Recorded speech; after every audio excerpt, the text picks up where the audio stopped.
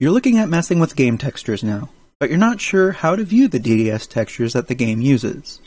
Thankfully, there are several options available to you, but for now we're just going to cover getting GIMP and some handy features it has, one of which is from the Space Engineers community itself. To start, we have to actually get GIMP. To do that, you just go to gimp.org. Once here, it's pretty straightforward how to get it. just this red download button right here. Go ahead and click on that. It'll take you to this new page, and you can download it via BitTorrent or download it directly. I suggest downloading it directly, that way you don't have to install BitTorrent. It is kind of a big download at 100 megabytes roughly, but you should be fine mostly. Go ahead and just click on that, and it'll start the download. It might ask you how you want to save the file, just go ahead, and click Save File, and it will start. Once your file is done downloading, go to where it downloaded. Here you can see the setup file. I just go ahead and double click on that, and the startup process has begun. Just go ahead and click on OK. Now you can customize it a little bit further. I like making sure I get it to the install path that I actually want, so go ahead and click on Customize, Next, and then set where you want it to go. For me, I want it to go into this additional folder here. So I'm just going to click Next, and here we have some extra options. I just go ahead and leave them all on there. You don't need the translations, but if you want them, go ahead and have them. I'm just going to go ahead and remove it. Click Next. Here you can select some file types that you could actually associate with it. Unfortunately, DDS isn't one of them, so we're going to have to get a plugin for that later. Just go ahead and click on Next, and you could choose to create a desktop icon or whatever. I don't, I use the toolbar. Next, and then Install. Once it's done installing, go ahead and click Finish. Now we're going to go ahead and do a first boot, and to do that, I just need to go to the additional folder, and then I need to go to GIMP2, and then bin, and then I can just right click this and pin to start. Now it'll show up at my start menu. I could go ahead and click on that. And here we are with GIMP. You can see that it's a very small window, so we're going to go ahead and maximize that. And I really like having this docked to the window instead of having it free floating like that because it kind of bugs me and I feel like it gets in the way. We're going to go ahead and set that as a docked toolbar. To do that, we just go up to Windows and then we go to single window mode. And we go ahead and maximize that. From here, GIMP is pretty much good to go. We just need to get the DDS plugin that we'll be using.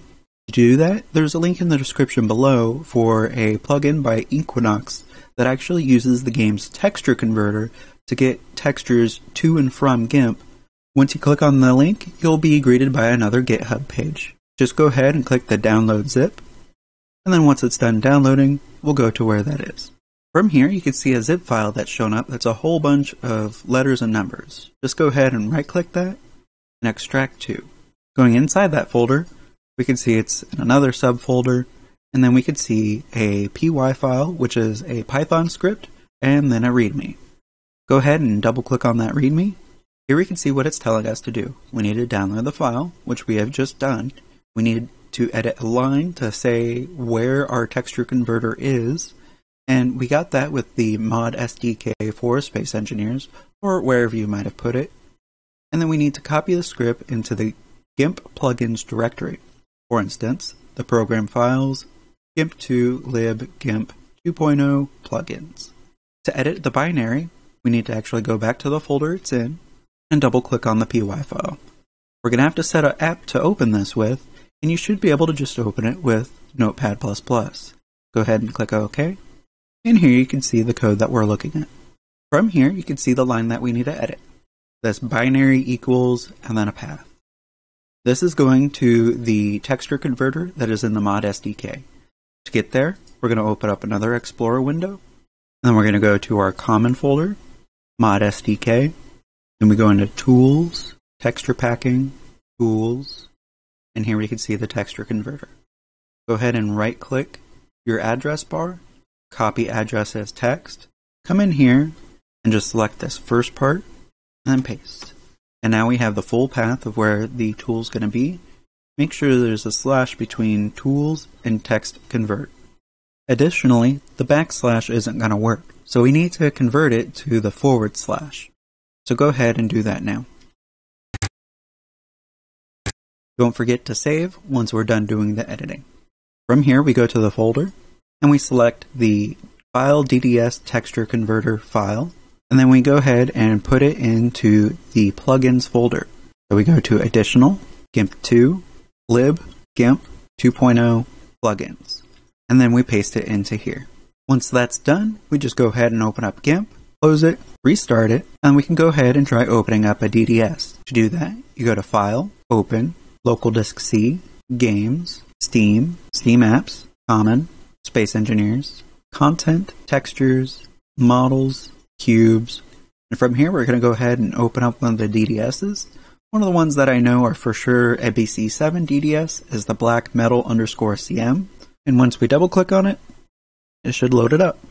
And what it's doing is it's actually taking the texture converter that we linked to and using that to convert it to a DDS format that we can actually use. So that's very important, and it's going to give you access to any of the vanilla texture files, and you don't have to worry about whether it is a BC7 or not.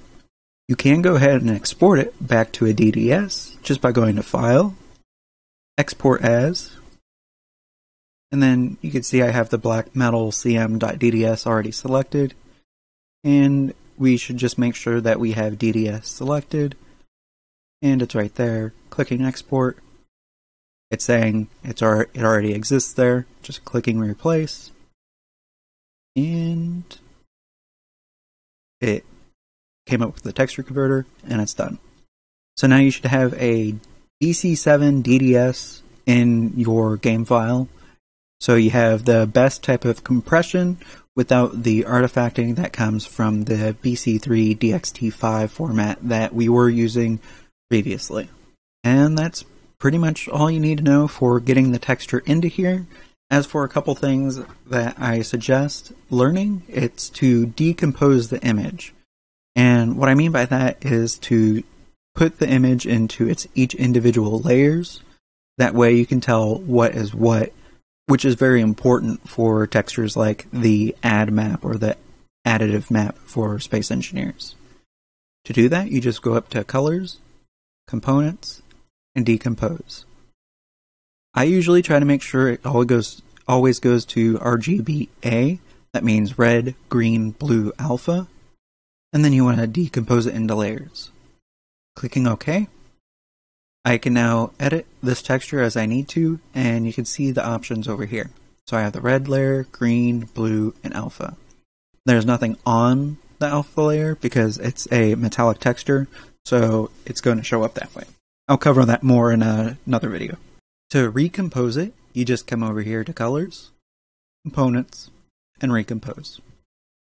And then I'll set this image to be whatever you edit here, and then put it all back into this. So you could just go ahead and export that directly again to be what it is. Lastly, when I talk to people, I tend to describe textures or texture layers as grayscale. And what I mean by that is going back to this decompose setup, these each individually are grayscale images. So you're not actually going to see any red on this layer. You won't see any green on this layer because it's broken up. If I open up another file, like this terminal panel that you can't see because it has a full alpha layer, if I decompose it and I get this, you can see that there's actually color here. Like that's just the red layer, that's just the green layer, and that's just the blue layer. And then here on the alpha layer, I can actually recolor it to be white. And then if I recompose it, it's changed back to how it looks normally. Now, the reason why it is black here, that means that it's not metallic. So it's going to hide anything you see. But it's not important that you see the texture the way it appears. The layer information is important to the game. So your texture isn't necessarily going to look how it is it should look in the game. It's really hard to put into words simply, so you'll just have to see the videos in the future. All right, well, that pretty much wraps it up. You know how to get and install GIMP. You know how to work with DDS images that you normally need Photoshop to actually view. And it's thanks to Equinox from the Space Engineers modding community. And That pretty much wraps up this video. As always, if you have any comments, questions, or concerns, feel free to send me a message, and I'll usually get back to you fairly quick. If you like these tutorials and would like to see more of them, or other types of videos more regularly, be sure to check out my Patreon. As a thanks for helping me out, I try to keep my patrons updated as to what's going on and to provide support to any that need it. That's all for now. Take care.